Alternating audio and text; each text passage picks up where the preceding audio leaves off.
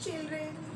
In my previous class, I taught you identification of trees and today you will learn about importance and uses of trees. So let's start. Trees give greenery to the environment. Trees give us oxygen and they clean the air. Trees give us food like fruits, vegetables, grains, and pulses.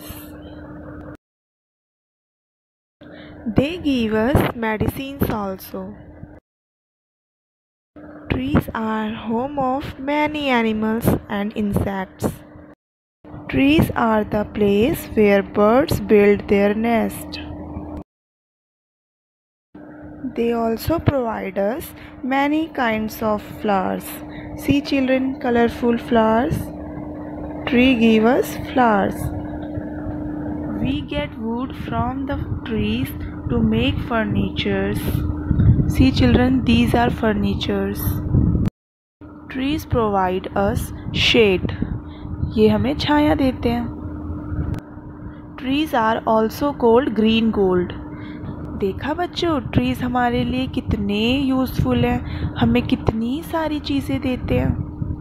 So we should grow trees around us and take care of them बच्चों, हमें अपने आसपास पेड़ लगाने चाहिए और उनकी देखभाल करनी चाहिए।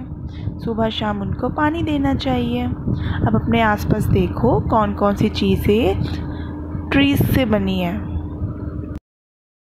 Bye bye, children. Take care.